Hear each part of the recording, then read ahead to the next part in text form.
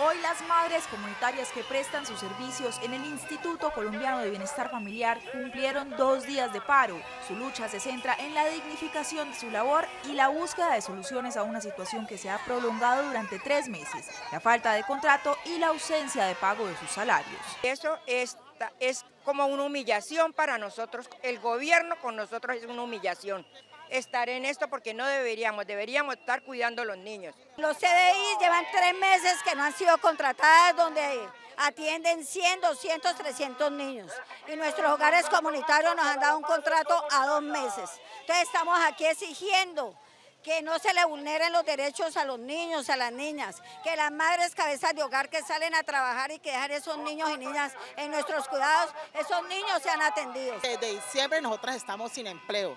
Están las familias en sus casas con los niños pidiéndonos todos los días, llamándonos qué es lo que pasa con los CDIs porque no pueden ir a trabajar. Madres, cabezas de familia que no tienen dónde dejar sus niños, que viven del día a día, de una lavada, de una planchada, y están los niños en la casa sin quien los atienda. Muchas de ellas llevan más de tres décadas sirviendo a la niñez. Hoy le piden al gobierno que se les cumpla con su pensión. Su reclamo es claro, las fuerzas no son las mismas y desean tener calidad de vida una vez se retiren de sus labores. Ya en los 32 años y 75 que tengo de vida, ya es justo que el gobierno nos haga realidad la pensión, porque para darle el paso a las jóvenes, quieren que nosotras soltemos el trabajo para darle el paso a las jóvenes, pero no nos arreglan a nosotros nada. Nos quieren tirar al debajo del puente a pedir que era limosna, ¿no?